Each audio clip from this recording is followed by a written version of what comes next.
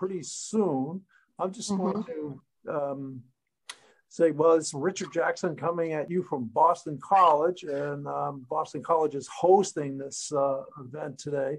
But it's uh, it's an include event, and uh, it's organized by the one of the include subcommittees on professional development and, and learning that uh, Betsy Dalton organizes.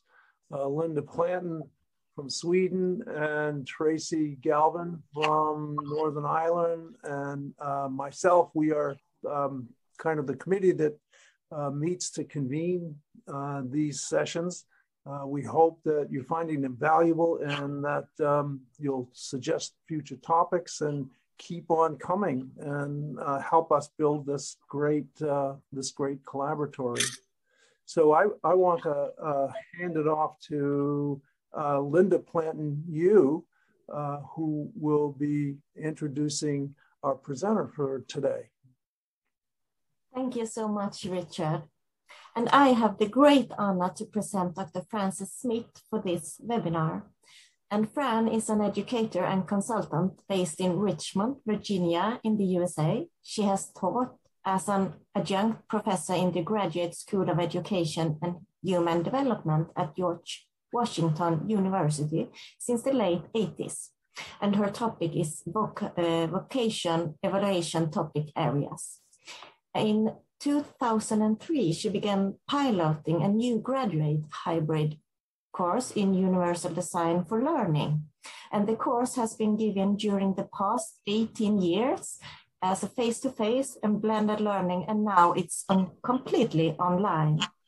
And Dr. Smith holds an MA in collaborative vocation evaluation and EDS in transition special education and EDD in higher education administration, and all from George Washington, University. And I find it very interesting that Fran in 2011 was selected as one of the eight postdoctoral UDL fellows in residence at CAST and Boston College Lynch School of Education. And her focus on UDL in higher education, transition, transition, special education, career assessment, and inclusive technologies. And Dr. Smith is currently a member of the CAST National Faculty. She has been an early adopter of UDL and provided training nationally, nationally and internationally. She is a past board member of the former National UDL Task Force in the USA and represented the voice of the vocal evaluation and career assessment professional assessment. And I know for you that has arrived now, I know that Fran would love you to type in your location in the chat, so please feel free to do so. And this webinar today, she will highlight of how a graduate course in Universal Design for Learning has evolved over 18 years and she will focus on strengths, opportunities, and lessons learned among those years. And it's a really big honor for us at the Include Collaboratory to invite you, Fran, for this webinar. And I know that the audience can't wait to hear more from you and for me to stop talking. So the floor is yours, Fran. Thank you. Thank you, Linda. Thank you. Thank you, Richard. Thank you, Betsy. Thank you to all that are on today. Um, I typically, uh, in with a smaller group, would have a lot more opportunity for some uh, engagement, but given our short time and the numbers that I understand are going to be on the the call, we're going to try to, I think, go through the presentation and keep some questions to the end. Is that correct, Linda? For today, good.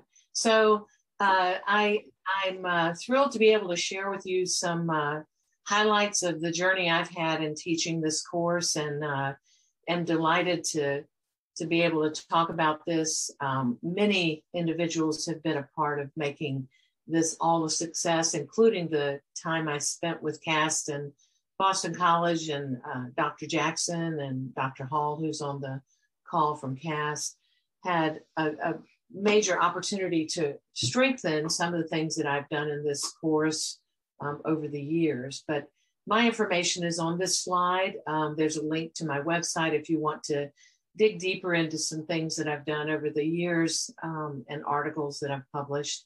Um, but we're going to focus on um, the course at GW University primarily today and take you through that uh, in the next few slides. So let me move forward.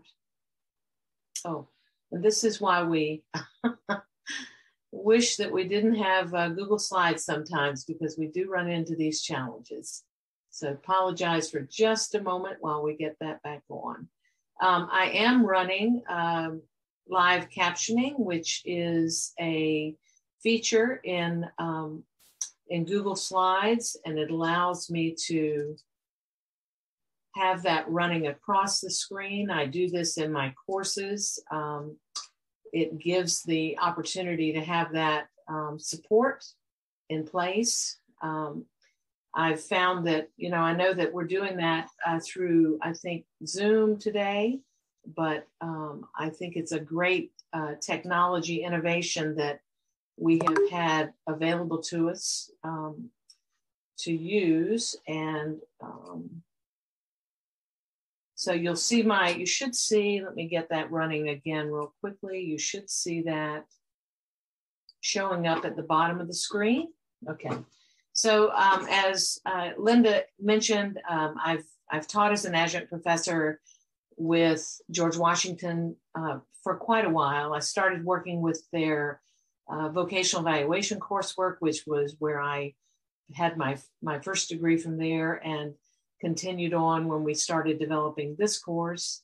Um, I was with uh, the UDL postdoctoral fellowship in in Boston. And since I've been back in Richmond, I've been working as a consultant and I have had the great opportunity to join CAST UDL national faculty and do some training with them as well. So, um, what we're going to cover today, the main goals that I want to address are to identify some of the strategies that were used in the development of this course on UDL, to consider strategies, technologies, and techniques used in the delivery of this course and look at that over time and explore tools and approaches that have been applied in successful ways to improve this course and engage student learning. And at the end of the presentation, I'll introduce you to some of my students through some of their comments and where they have, have gone forward.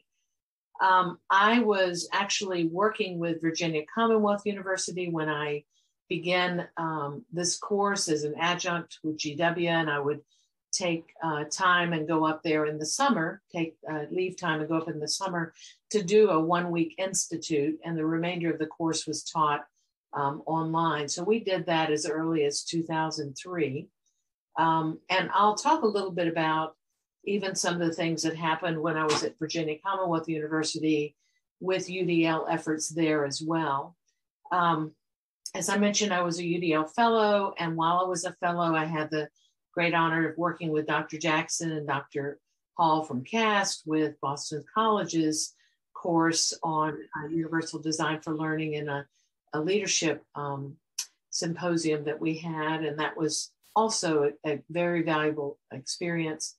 And I've also worked a lot with um, EDUCAUSE Learning Initiative, which is a uh, part of an organization known as EDUCAUSE in the US. I think they uh, have international representation, and they often have audiences of faculty that are working with um, innovative technology and learning technologies and teaching. So I've I have been to many of their conferences, and over the years, I think that might have happened in 2014. My memory's not exact on those dates. There's an article uh, that was published by the CAST uh, folks on seven things you need to know about universal design for learning. So that's in their library as well. So for me, um, the first steps of this course development happened when I was um, probably more in a practitioner role. I was working as an adjunct. Um, I had not gotten my doctorate at that time. I had a lot of experience in vocational evaluation with individuals with disabilities And I also had been an assistive technology practitioner with a uh, public school system in the metro Washington, D.C. area. And I was a very early adopter of technology. And I think for those of you who've done that and used those tools for years, that is a great um, platform to launch off of into something like this. Um, in the middle of the course, I was uh, I had started working on my doctorate, and I was involved in a lot of uh, work and research and projects that um, helped to enrich this course because this became a part of that as well. And then ongoing steps that have continued in this course um, have, I think, followed the field of universal design for learning. And we've really tried to structure uh, course tasks and assignments that make sure that students come out of the course with a perspective of appreciating their own growth as expert learners in UDL. So I'm going to start with some points um, from a variety of, of fields for you to think about as I as I start this talk. Um, one of the things that happened in the United States in 2008, which I think was pretty significant for those of us in higher education around universal design for learning, was the um, author, authorization of the Higher Education Opportunity Act of 2008. It was the first time we saw the, the language that you see here that defines universal design for learning in a way that complements what we teach around multiple options and how information is represented, how students get engaged with that information, and how they act and express their knowledge. And there's other language in this um, act that was significant for what we were doing.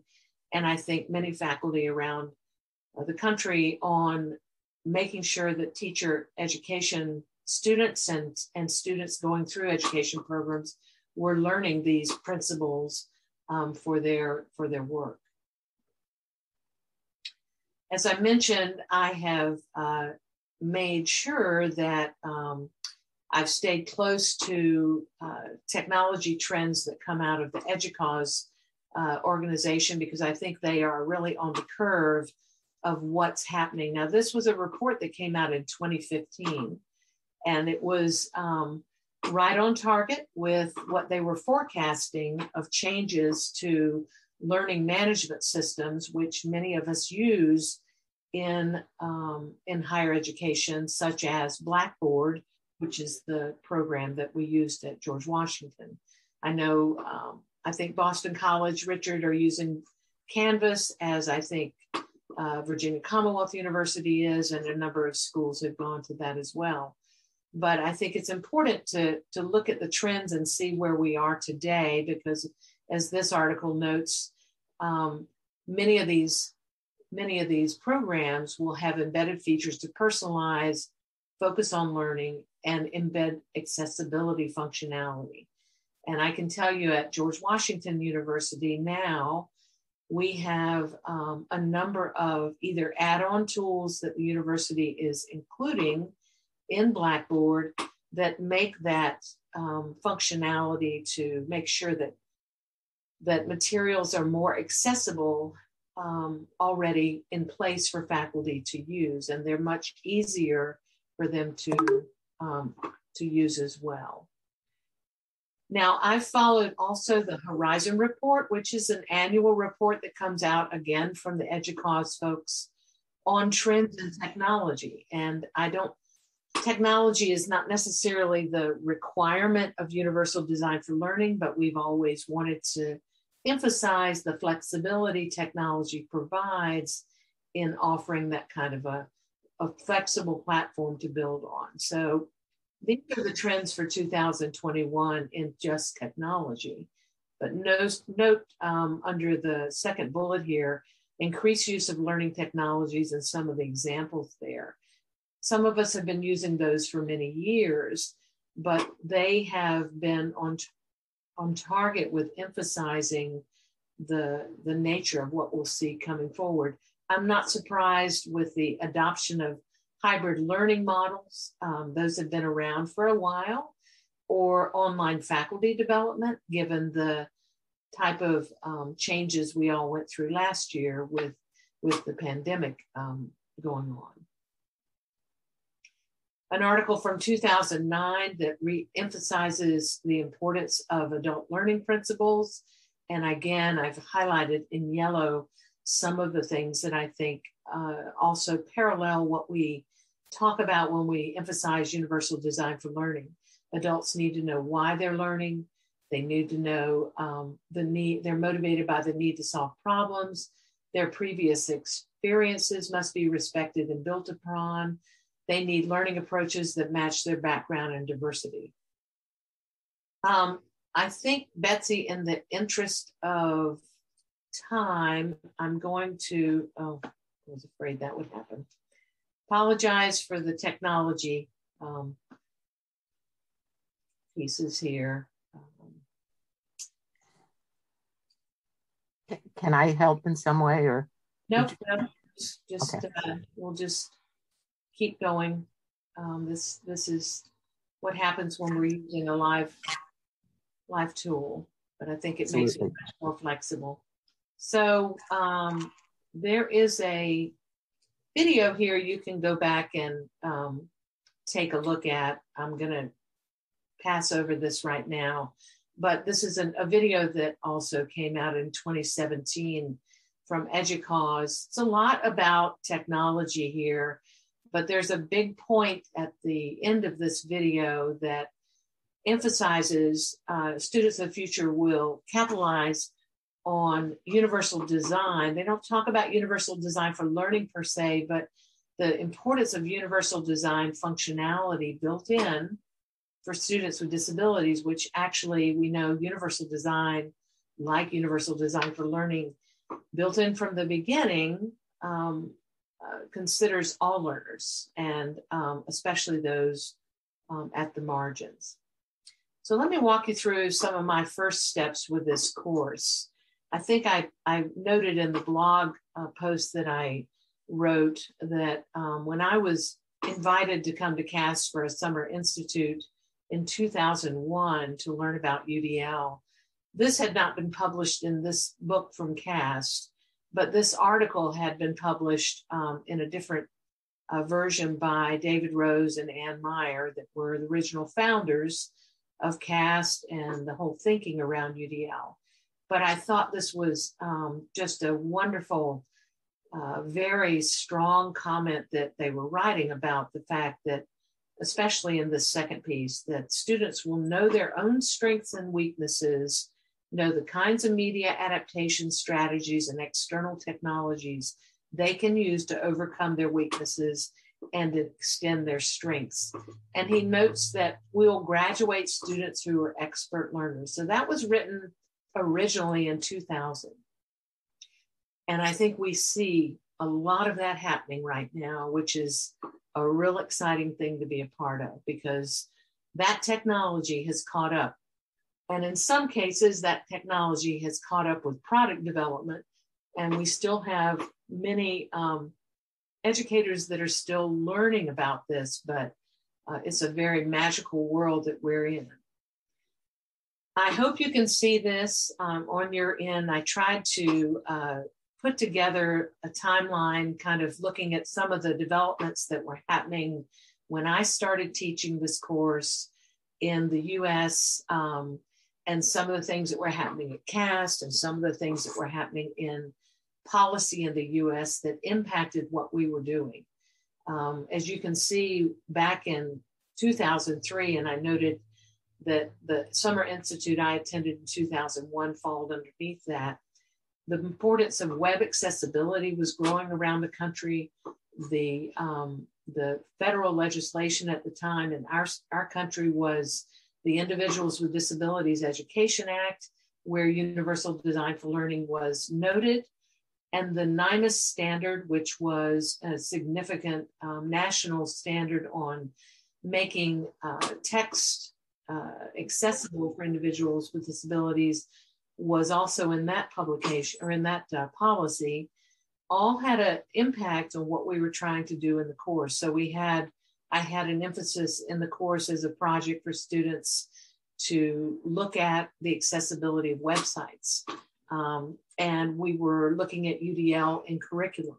We were looking at um, the Universal Design for Learning three core principles on, on the options needed for that.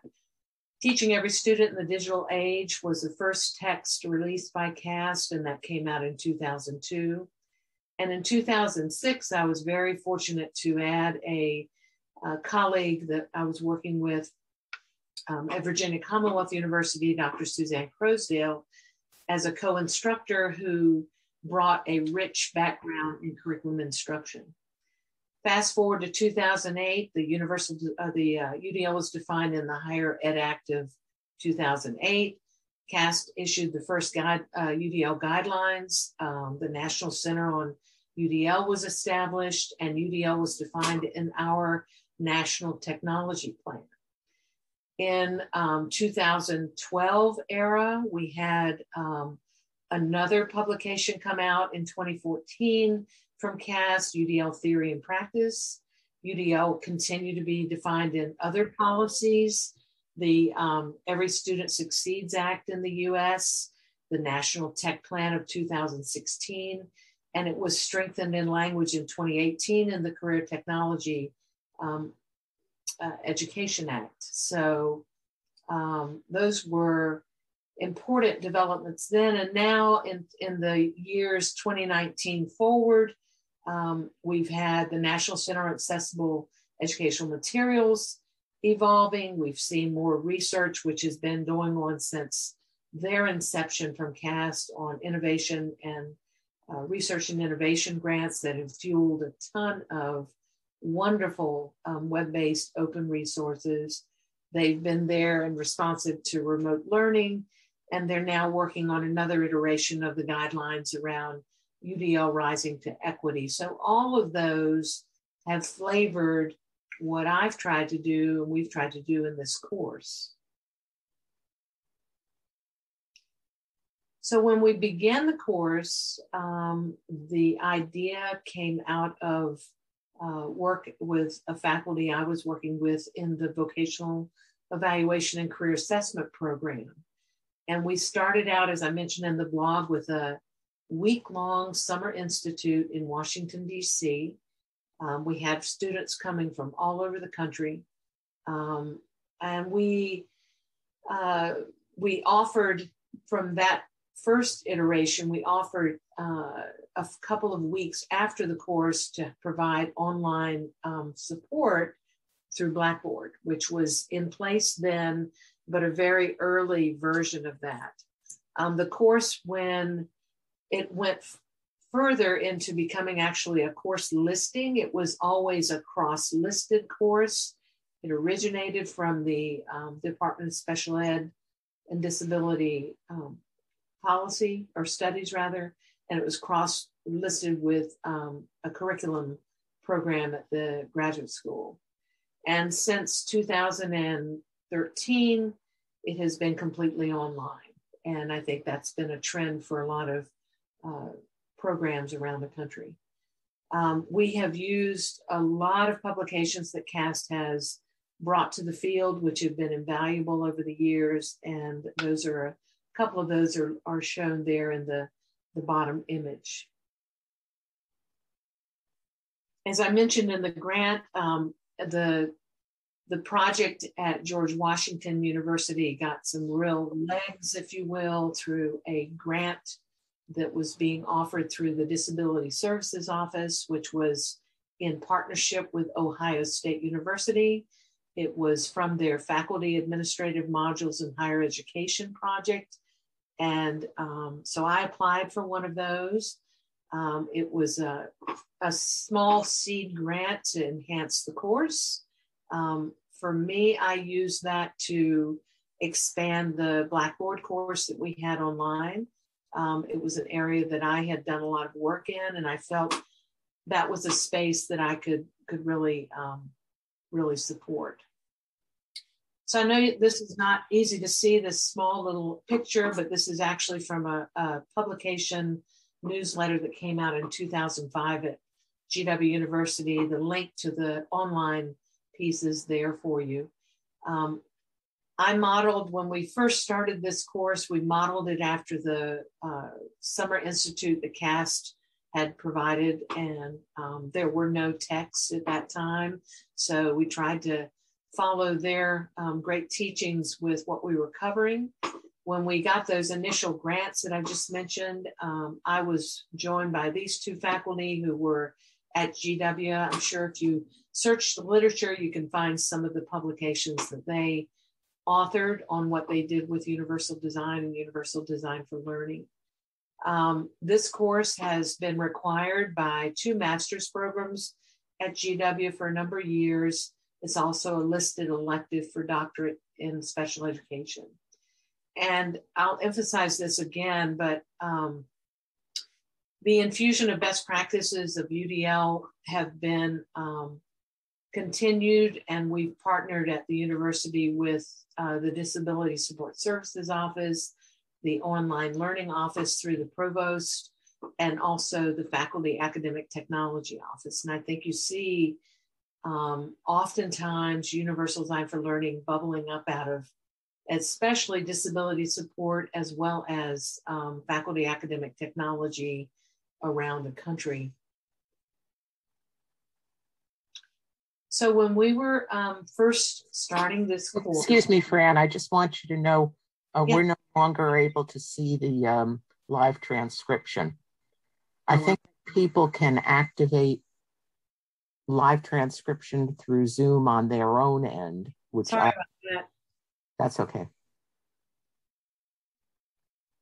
So when we started this um, course, uh, we were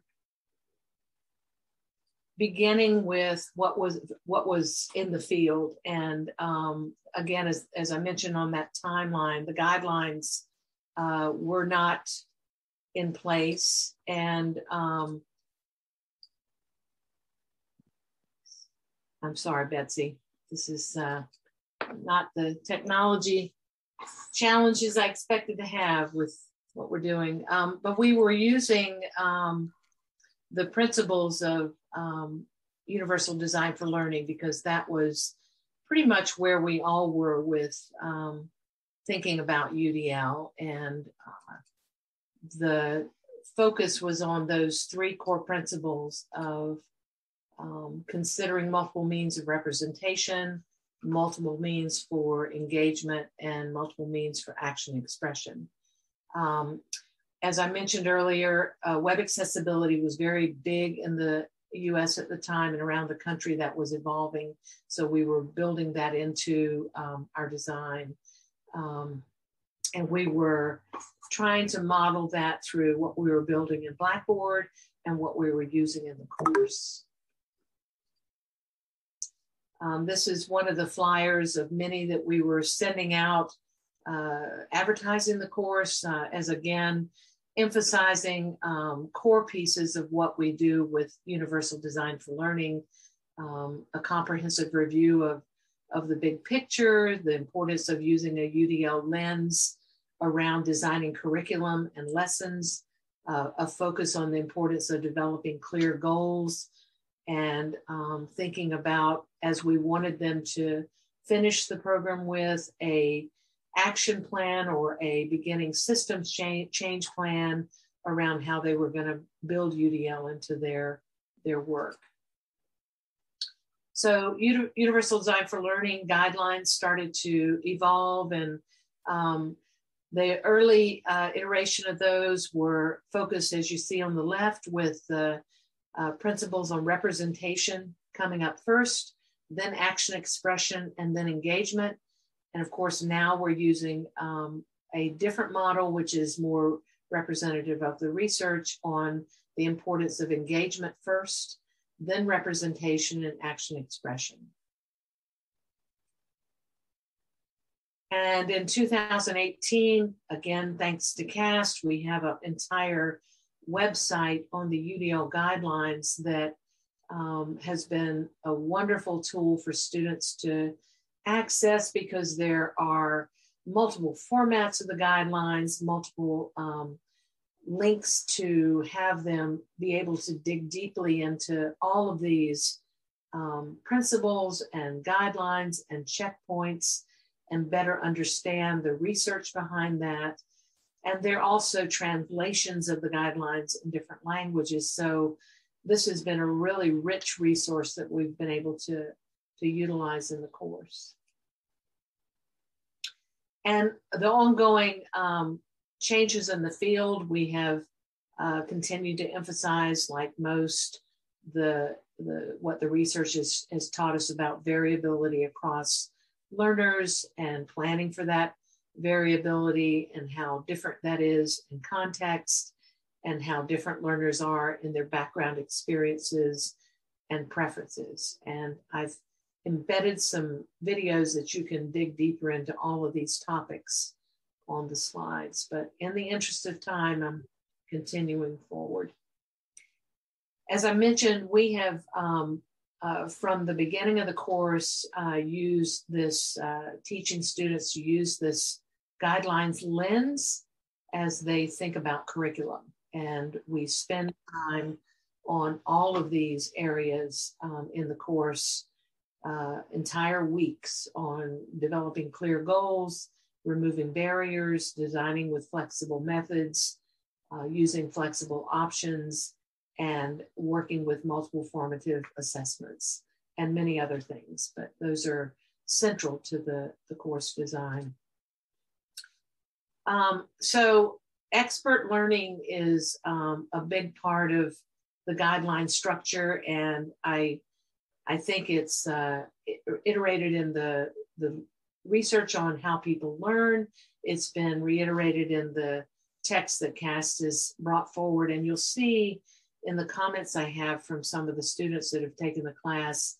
It's great to see how this evolves as they go through 15 weeks and come to the end of the class and, and see how the design has supported that process.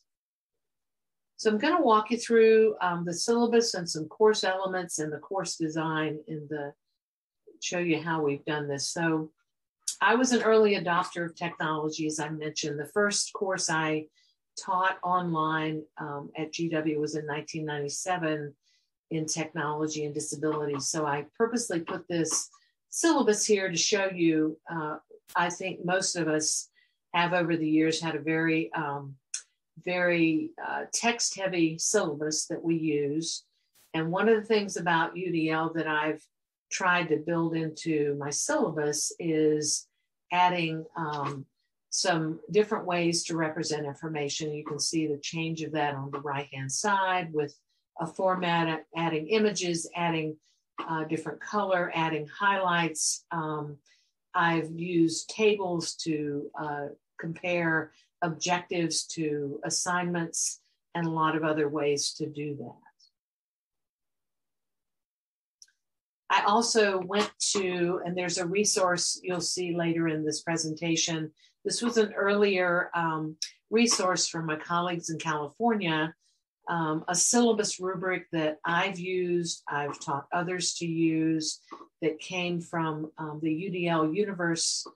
Um, I think they've uh, changed that resource several times, but um, a great uh, way to think about a traditional syllabus and a, a UDL syllabus and how we can enrich that uh, to make that more accessible, make that more UDL friendly. So the course texts that we've used in this course, um, the core course text around UDL, the first one we began with, which came out in 2002, was this one, Teaching Every Student in the Digital Age. I've always uh, appreciated CAST uh, modeling the message that they teach about UDL. This was online, and you can see in the examples here, the digital copy on the right, each of the chapters separated, linked so that students could e- easily go into those uh, chapters separately. And on the left, a picture of what that chapter would look like, where the um, key points are highlighted, where there's a multiple representations with a concept map, where there are videos, where there are images, and links to dig deeper into the information. So again, they model model what they are teaching and what they're designing. And then in 2014, the Universal Design for Learning Theory and Practice text uh, was uh, came out, and again, an open format online that's freely available, which I try to use um, as much as I can.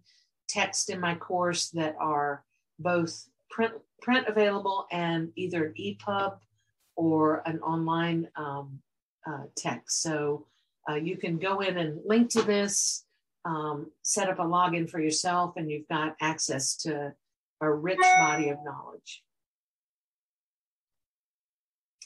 In the course design, um, we kind of, again, modeling those three areas, multiple options to support engagement, multiple options to support um, representation, and multiple options to support action expression. So, in multiple options for engagement, um, and I've uh, borrowed a great uh, example of this through the guidelines. Um, some of the things that we've done over time, um, I always send out a, a pre survey to students to get an idea of uh, their background experiences, their interests, their goals, and any issues that um, I need to know about if I have um, the opportunity, I try to do individual synchronous Zoom meet and greets. But um, if it's uh, not uh, something I can do because of the size of the course, I'll do that the first night, and we'll have a. We always have a several um, synchronous meetings live, um, and, and, I'm talking about the online version of the course. In the course language, I've always um, highlighted optional means for how students can both um, share their knowledge and uh, complete assignments in the syllabus. The goals are the same. Uh, they're still very rigorous. There's still a need for them to submit work that's in a graduate uh, at a graduate level and cited to the research, um, but there are optional ways to do that.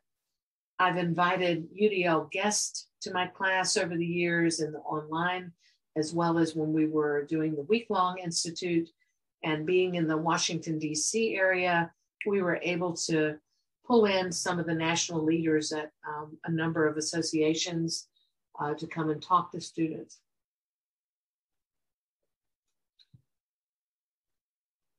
These are a couple of pictures from some of our face to face summer institutes.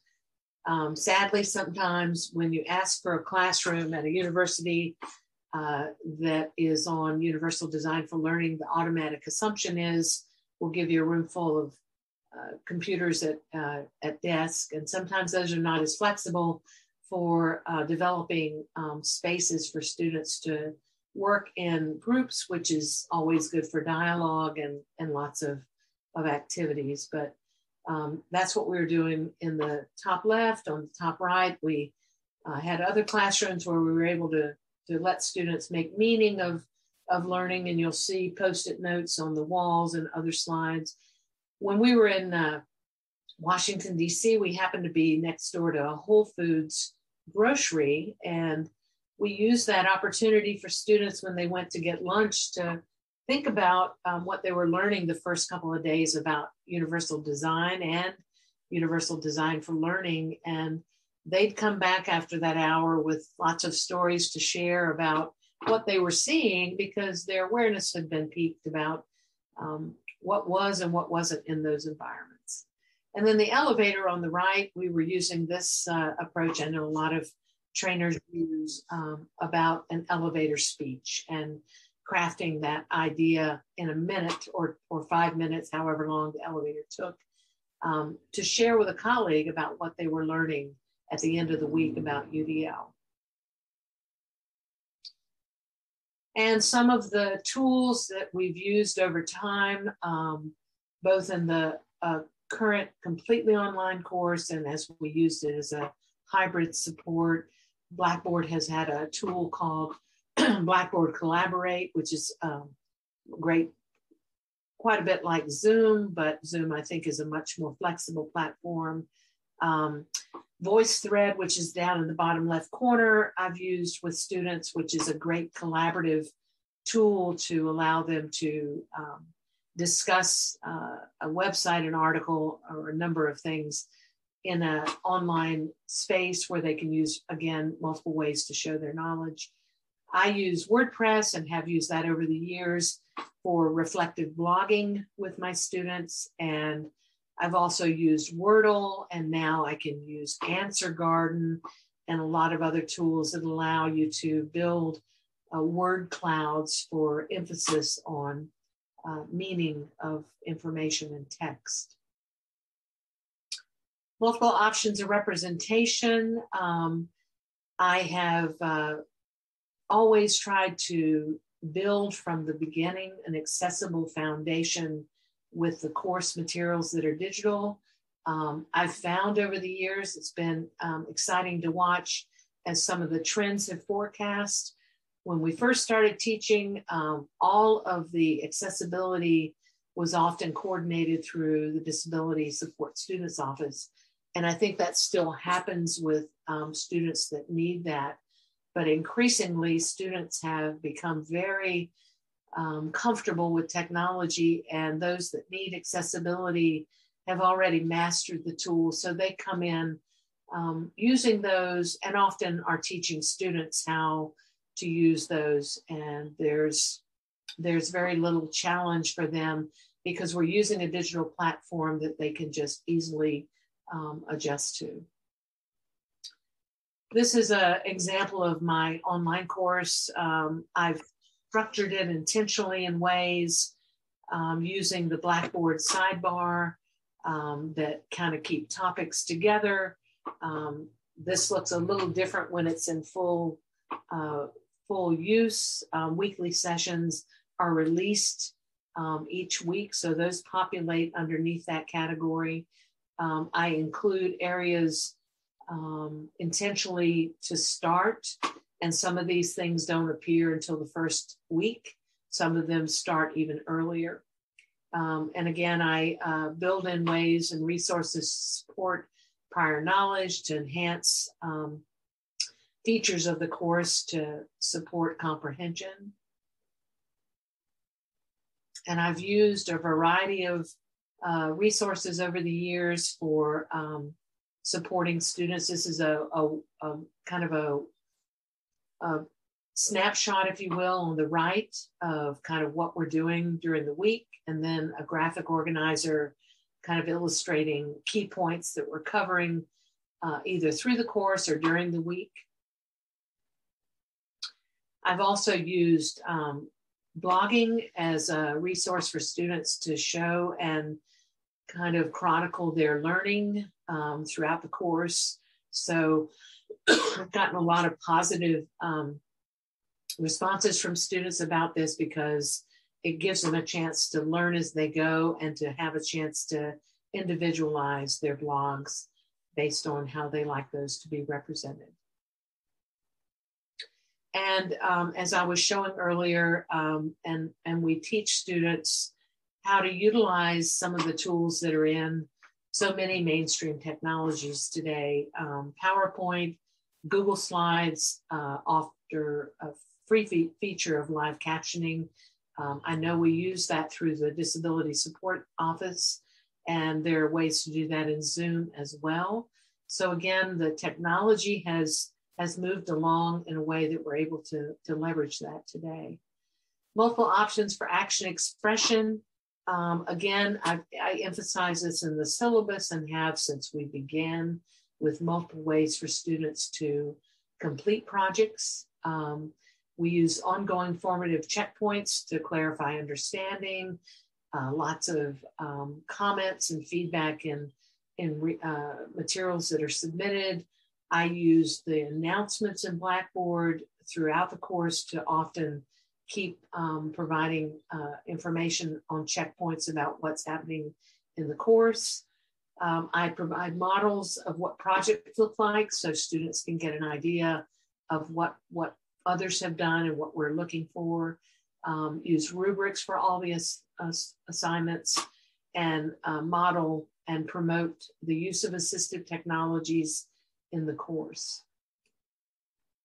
Um, and I think uh, uh, this is, uh, there's an article at the bottom that uh, David Rose and colleagues at CAST in 2006 published based on the course that he has taught since its inception on UDL and um, how he started very early asking for volunteers to capture notes in class, which was just a brilliant idea. And it certainly has spurred that um, for many of us. And I uh, started modeling this assistive uh, tool, the LiveScribe pen, very early in my class and um, found as universities started adopting this in uh, bookstores, students started bringing that into class and using it um, for capturing notes. So again, uh, keeping that uh, perspective open for, for welcoming students. This is an example of, again, some things that we did in class on the left-hand side, very early, uh, taking the guidelines again and cutting them into kind of a, a puzzle and having students to come in each day to remember where these are aligned in the guidelines as we were uh, uh, learning about that. It's a big concept for people to understand and to start to um, appreciate. Um, gallery walks that we would do around the classroom of, of what students were learning, as you can see here, um, applying the UDL lens to goals, materials, methods, and assessments. Uh, again, when I when we open the door for students to show their knowledge in different ways for their final projects, this was one done back in I think 2009 when PB Works was a very popular wiki tool and this student was a uh, amazing designer and built a uh, website for her final project that was uh, far exceeded anything she could have done in a paper. All the references were there, all the literature was cited, um, and a very engaging um, product. So, inclusive and universal designs often spur innovative thinking. And these are some uh, quotes from students that have had, um, and you can get an idea of some of the things that they were talking about. I love this the quote on the left where UDL is much more than just in the classroom, and um, how this students' uh, work did that. On the right, uh, another example of how a student I had um, recognized by the end of the class which was good, um, how the whole process was building her own expertise. Um, but it's been very positive. I've had students uh, in, from all over the world who've taken this class and gone back to countries to uh, make changes. These are some of the comments again. Where are those students today? Um, some have be, moved into positions. You've probably seen their names. I'm not going to mention them here, but national leaders, um, people that have authored some of the books that we've uh, had in our courses, change agents that have uh, taken UDL to the local, regional, state, and international level. Um, uh, we've had museum educators that have taken UDL into museum education. I had one student working with the Smithsonian's who was going to take her project there. Um, educators and faculty who've taken what they've learned when we started this very early. Um, faculty were coming into the class and sitting in, and they've taken that into their uh, courses and uh, redesigned them. Um, technology staff and technology leaders who've taken UDL by taking this course or sitting in and then redesigned um, protocols that they're using.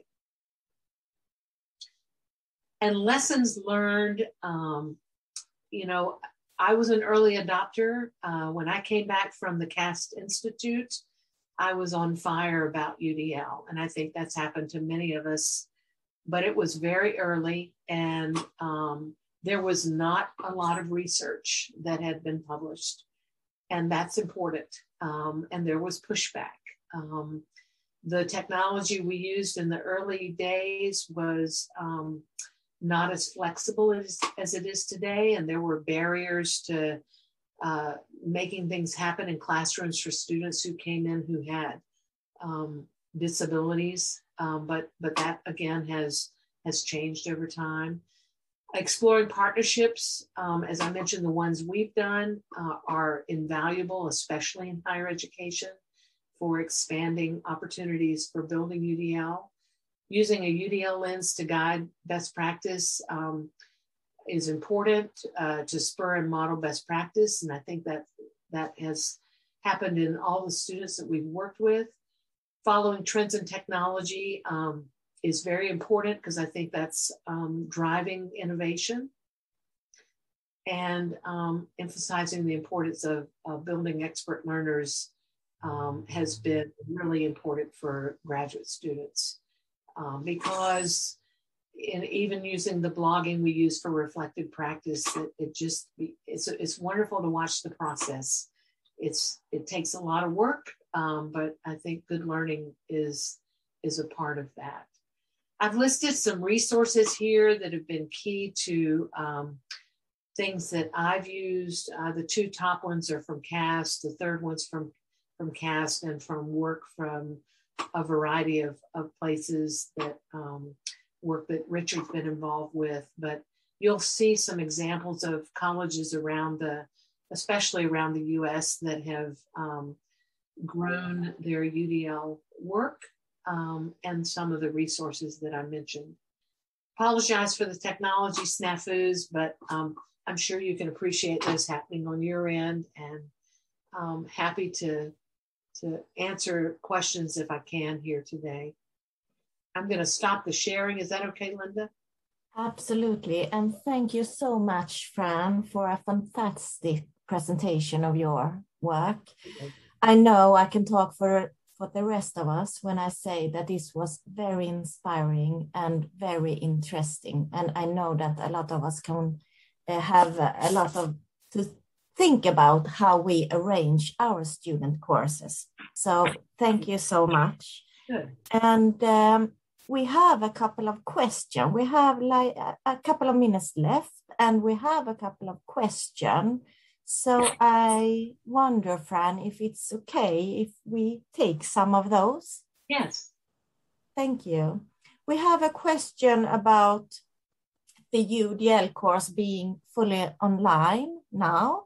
And um, how does this differ from the face-to-face um, experience you have in early years? Um, I don't know why my video is not showing, but um, Um, I think that you know I, have tried to um, uh, utilize definitely uh, the the value of tools like Zoom. Um, so I think what you lose when you go online sometimes, and what people are concerned about, is that you don't have that face to face interaction.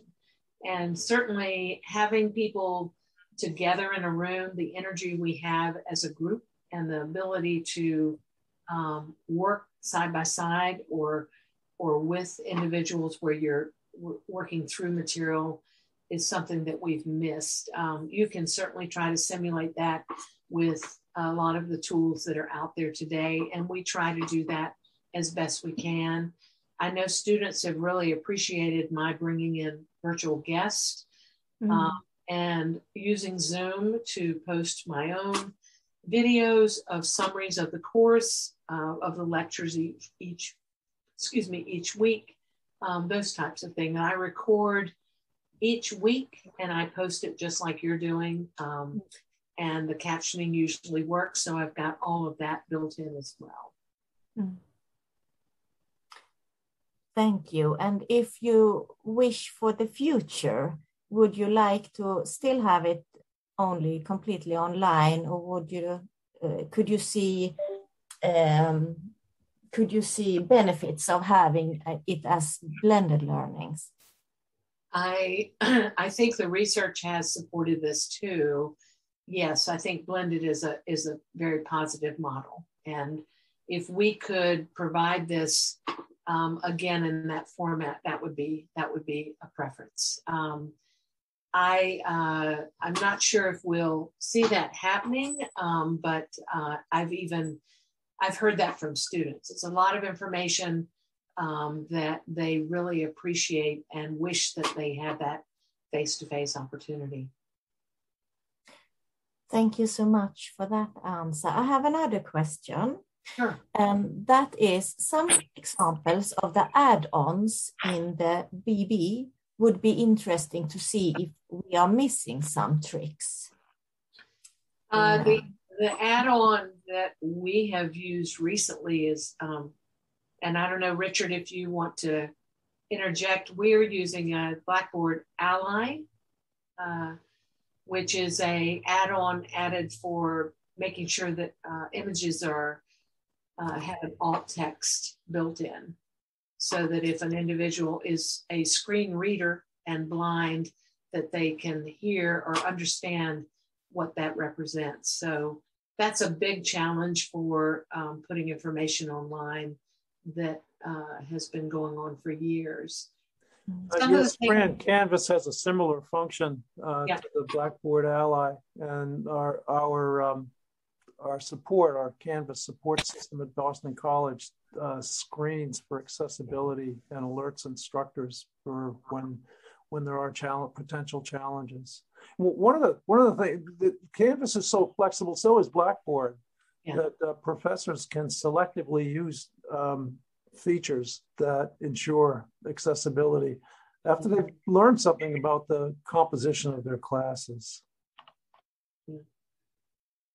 Yeah, probably you saw in the Blackboard example I gave, I have have changed the buttons on the left hand side and rearranged those and those are just features that you just have to dig deeper into for that type of support. Wonderful. Thank, thank you. Um, I just want to say also here is one um, listener that say that she's really appreciating the use of graphic organizers throughout your course and throughout your preparation and materials. And I think we are a lot of people that can um, right into that comment that we think it's a very nice way of developing a course. Thank you. I, you know, Microsoft Word, which I use um, as a, a product, has a great tool called Smart Art, and that's how I usually will build um, those types of things.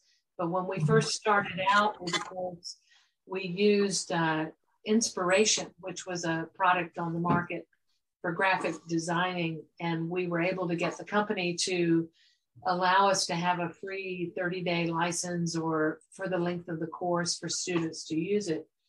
And again, because I opened the door early in my syllabus to let them show their knowledge in different ways, the graphic organizer designs of a project or a paper or the key points of a, um, a project they were developing were phenomenal for those that needed to do it that way.